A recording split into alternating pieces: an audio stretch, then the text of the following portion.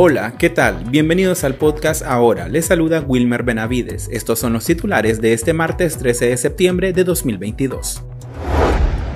Oficina de la ONU para los Derechos Humanos denuncia incremento de la represión en Nicaragua. Más de 40 países instan a Ortega a restablecer el diálogo nacional. En el pulso analizamos la decisión del régimen en mantener en sus cargos a sus actuales alcaldes de confianza. La Oficina de la ONU para los Derechos Humanos señaló que la situación de Nicaragua continúa deteriorándose. Durante la presentación del informe actualizado sobre el país, el organismo indicó que los embates contra la libertad de asociación se han incrementado de manera exponencial. Solamente en este año el régimen ha aniquilado a más de 1.500 ONG con el objetivo de acallar las voces críticas. Además, ha cerrado al menos 20 medios de comunicación y provocado el exilio de más periodistas. El portavoz Cristian Salazar denunció a su vez la operación policial contra medios católicos en Matagal y la detención de su obispo Monseñor Rolando Álvarez y otros ocho religiosos. Por tanto, dijo, existen serias preocupaciones sobre el desarrollo de las elecciones municipales programadas para el 6 de noviembre, debido a la ausencia de significativas reformas electorales y judiciales compatibles con estándares internacionales de derechos humanos. Para poder avanzar en la búsqueda de soluciones, resulta fundamental que el gobierno reconozca y aborde las causas profundas de la crisis en el país. Un grupo de 45 países miembros de la Organización de las Naciones Unidas urgió al régimen de Daniel Ortega a restablecer sin demora el diálogo nacional en el país y liberar a los presos políticos. A través de una declaración conjunta leída ante el Consejo de Derechos Humanos de la organización, los países señalaron que la actitud del régimen constituye una evidencia más de la falta de responsabilidad y rendición de cuentas de las obligaciones internacionales de derechos humanos. Además, en vista de las próximas elecciones municipales en noviembre, les resulta preocupante que las recomendaciones de la Oficina de Naciones Unidas para reformar el poder electoral no se hayan aplicado. Entre los países firmantes se encuentran Colombia, Costa Rica, Chile, Ecuador, Panamá, España y Estados Unidos.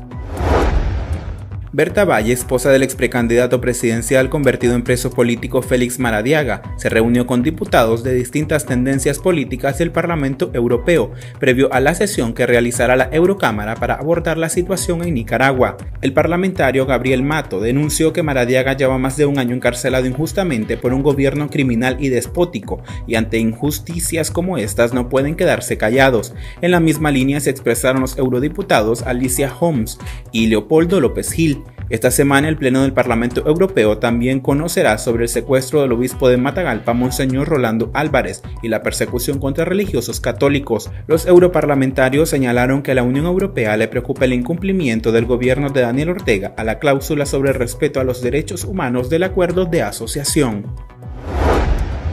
el Consejo Supremo Electoral publicó la lista provisional de candidatos a alcaldes, vicealcaldes y concejales el partido de Daniel Ortega, FSLN, optó por mantener a la mayoría de los actuales ediles en sus cargos. De esta manera, la alcaldesa de Managua, Reina Rueda, y su fórmula Enrique Armas volverán por otro mandato. Ortega y su esposa y vicepresidenta Rosario Murillo mantendrán también a Sadrax Celedón en Matagalpa, a Leónidas Centeno en Jinotega y a Francisco Valenzuela en Estelí, todos ellos sancionados por Estados Unidos por haber cooperado con la policía y paramilitares durante la masacre de 2018. Sin embargo, el alcalde de León, Roger Gurdián, no aparece en la lista. Él será sustituido por la actual vicealcaldesa, mientras el exalcalde de Diriamba, Fernando Baltodano, quien murió en extrañas circunstancias, será sustituido por su hijo Harold Antonio Baltodano Cruz. El Partido Liberal Constitucionalista lleva la fórmula de Ruth Cerda y Winston Rivera por Managua. Los demás partidos satélites recurrieron a políticos de corriente conservadora como candidatos en la capital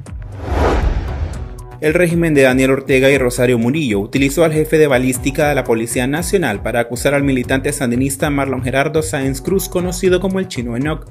El paramilitar confeso es acusado de transporte ilegal de estupefacientes, tenencia ilegal de armas de fuego y tenencia de armas restringidas, sustancias o artefactos explosivos, después de haber expresado a través de redes sociales su inconformidad con las decisiones de Rosario Murillo.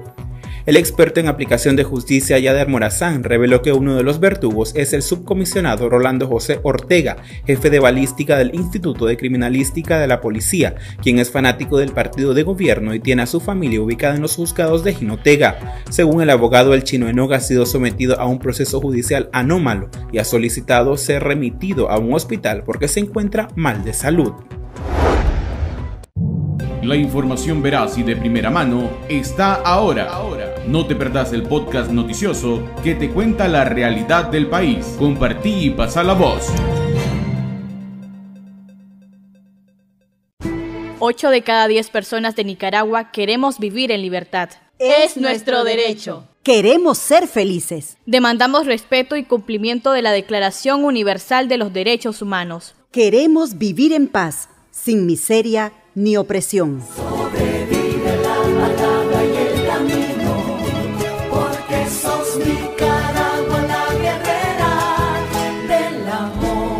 Movimiento Autónomo de Mujeres.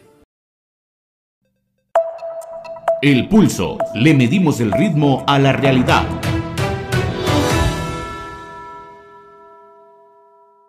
El Consejo Supremo Electoral, controlado por el partido de gobierno, publicó la lista provisional de candidatos a cargos públicos en las próximas elecciones municipales programadas para el 6 de noviembre.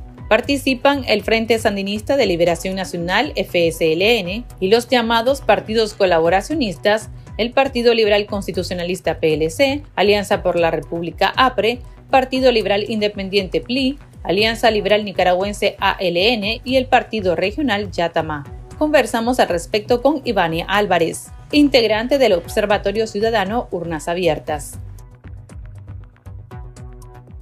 El FSLN optó por mantener en las alcaldías a la mayoría de sus fichas, eh, incluidos pues los alcaldes sancionados de Matagalpa, de Jinotega y de Estelí. ¿Cómo se interpreta esta decisión y si realmente pues lo permite la ley electoral, si es legal, si es legítimo?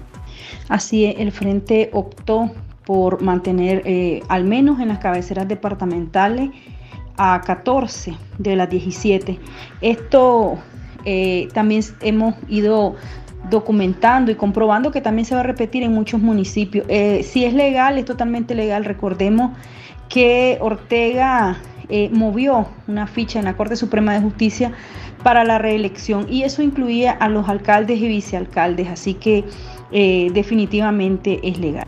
Por otro lado, el FSLN, el partido de Ortega, le dará la alcaldía de Diriamba al hijo del fallecido alcalde, Fernando Baltodano, quien murió bajo extrañas pues, circunstancias. Eh, ¿Qué dice la ley electoral sobre esta situación o cómo se interpreta esta movida política? Evidentemente, a cómo van las cosas, eh, es casi seguro que él asuma este cargo, ¿verdad? Definitivamente tampoco hay una restricción.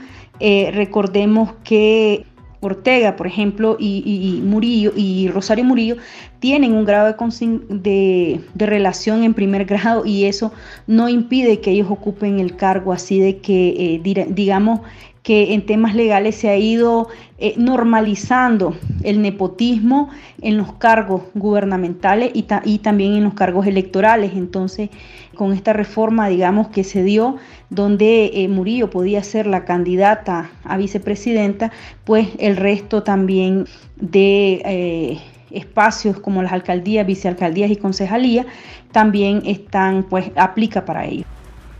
También pues hoy la Oficina de la ONU para los Derechos Humanos señaló que existen serias preocupaciones sobre cómo pues se va a desarrollar el proceso electoral en un país, dicen ellos, con graves violaciones pues a los derechos humanos. El régimen pues se encamina de esta manera a otras elecciones que pueden ser votadas, consideradas como ilegítimas, al igual que ocurrió con las presidenciales. Nosotros hemos venido denunciando la situación electoral en Nicaragua a como lo han hecho muchos organismos desde el 2011, por diferentes reformas, ¿verdad? Y prácticas que se han ido normalizando.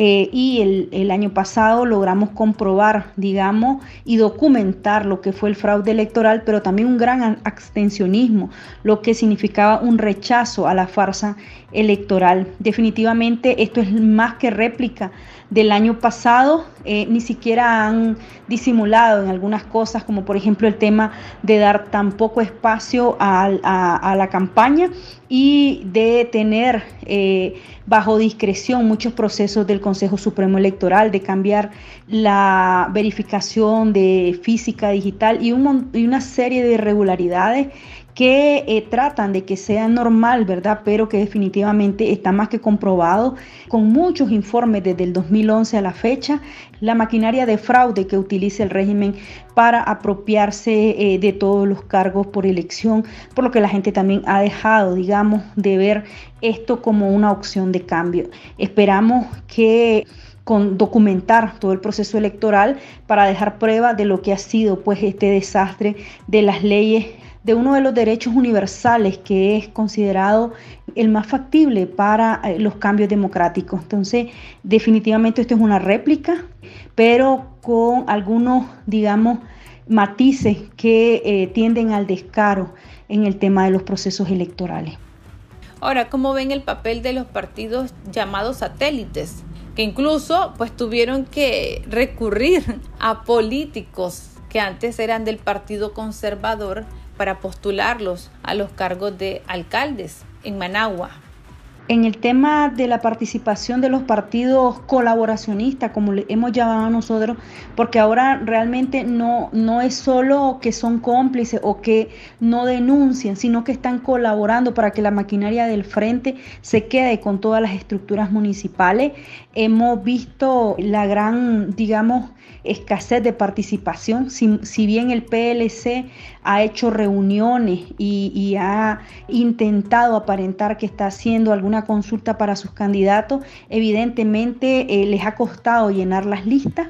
Eh, han tenido que dar prebendas como motocicleta, regalías de canasta básica. Eso en el en el caso del PLC y en otros casos como APRE, ALN, pues vemos la dificultad que han tenido también en llenar sus listas y para eso están recurriendo a las estructuras del frente.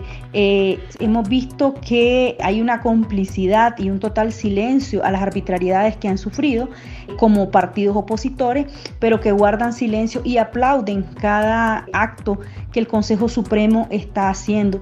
Es más, se prestan a él. Por ejemplo, el Consejo Supremo cambió la fecha de verificación y la pasó a digital y ellos inmediatamente empezaron a invitar a la gente a este proceso.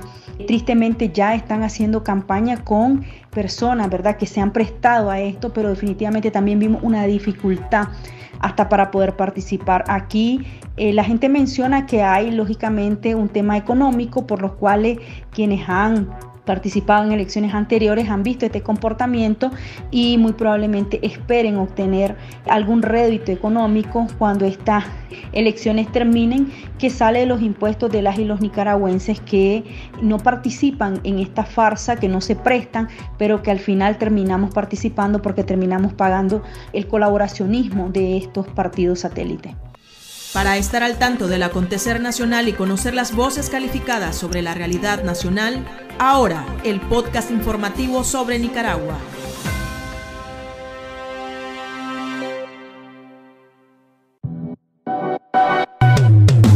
Tendencias, la viralidad de las redes sociales. Los tres presuntos autores del asesinato de las niñas de 7 y 10 años en Ciudad Belén, Managua, fueron remitidos a valoración en el Instituto de Medicina Legal para determinar la edad biológica de los procesados. Los acusados Alfredo Antonio Lara Ortiz, quien dice tener 19 años, y Alison Yaosca Salgado Rugama de 18, no presentaron cédula de identidad ni partida de nacimiento, mientras el adolescente de iniciales AESR asegura tener 15 años. Una vez que se determinen sus edades, podrán continuar el juicio ante el juzgado correspondiente, mientras tanto permanecen bajo prisión preventiva. Aquí termina el episodio de este martes. Para más noticias pueden visitarnos en nuestra web www.articulo66.com. También puede suscribirse a nuestro podcast y seguirnos en las redes sociales como Artículo 66 y en Twitter arroba Artículo 66 Nica. Hasta la próxima.